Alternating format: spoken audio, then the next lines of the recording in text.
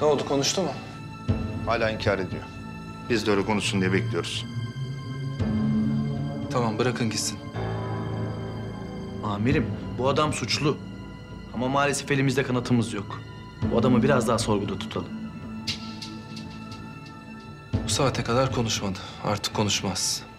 Elimizde kanıt olmadığını da biliyor. Bırakın ama peşine bir adam takın. Adım adım izlesin. Er ya da geç kızın yanına gidecek. Belki böylece çocuğun yerini buluruz. Emredersiniz amirim. Emredersin amcam.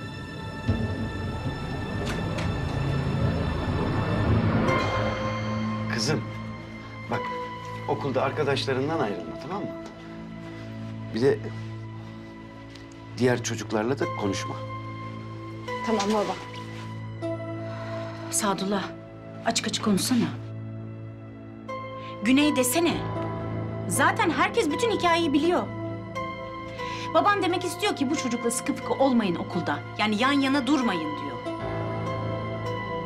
Ha ben huzursuzluk çıkmasın diye diyorum. Gerçekten. Tamam baba.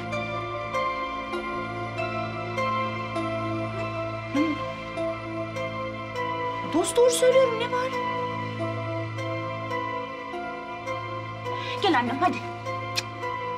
İyi dersler bebeğim. Sağ ol anne.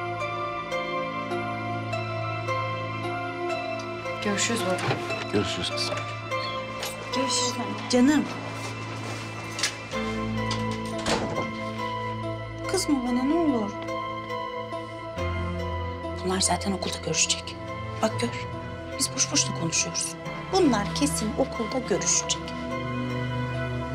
Ben diyeyim de